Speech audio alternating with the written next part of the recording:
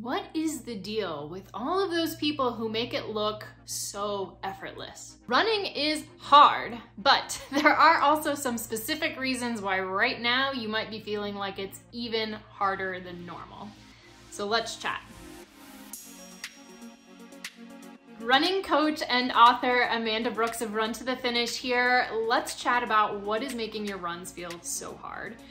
If you are a new runner, then we're talking about the fact that your body has to get used to it. You probably need to slow down. Almost always you're running too fast. But for those of you who have been running a while and you're hitting a patch where everything is just not feeling good, there are some things to look at. One is to make sure that it's not just a bad day, we all have bad runs, but if you're on like weeks now of it not feeling good, I first need you to be very honest with yourself about are you overtraining?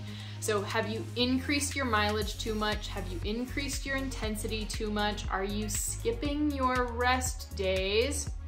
Once you can truly answer that, sometimes the answer is that you need some rest days or you need a true cutback week we often forget as runners, we just want to keep pushing and hitting that next milestone, but you make progress in the recovery. So during training, you are actually breaking your body down. That's the goal of training.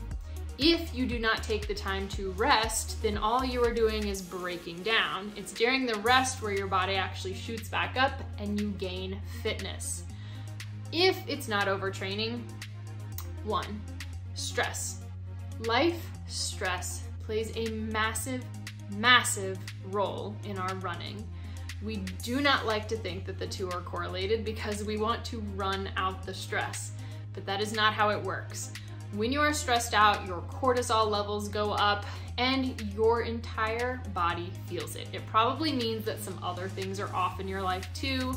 Hydration, sleep, nutrition, all things we're also gonna talk about. So if you are feeling super stressed in your life and at the moment your runs are not feeling good, it's often a really good time to just take the intensity back. Go for a walk, chill out, get on a trail so that you can just walk or hike and be in nature.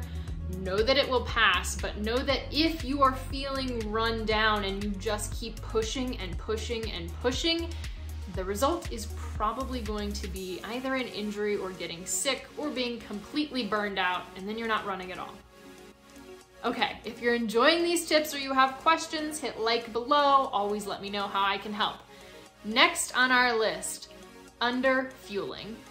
This is extremely common, especially in female athletes. So often we start running with a focus on weight loss, which is fine if that's your goal, but you have to know that as a distance runner, you have very different nutritional needs than your friend who is going to a couple of workout classes a week. Your body requires fuel. If you are not giving it enough fuel, that cortisol that we just talked about increases. So then your body actually starts to hold on to fat. It makes your runs feel worse. You keep eating less, the cortisol keeps going higher, and your weight keeps going with it. So starting to eat more can actually reverse that trend.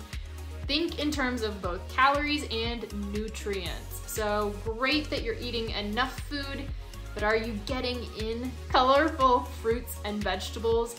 And especially for female athletes, enough protein. So we know that that protein is really, really key to your muscles being able to build back stronger.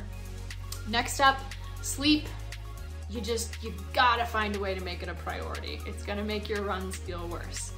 But then also, have you added new things to your training? So maybe you just started a new strength training program.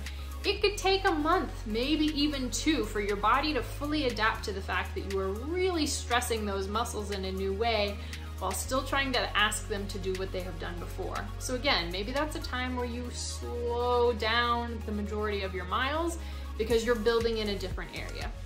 I hope this gave you some ideas of things you can look at, ways you can start to figure out why am I having some tough runs. If you're still having questions, drop them below and we'll see if I can help.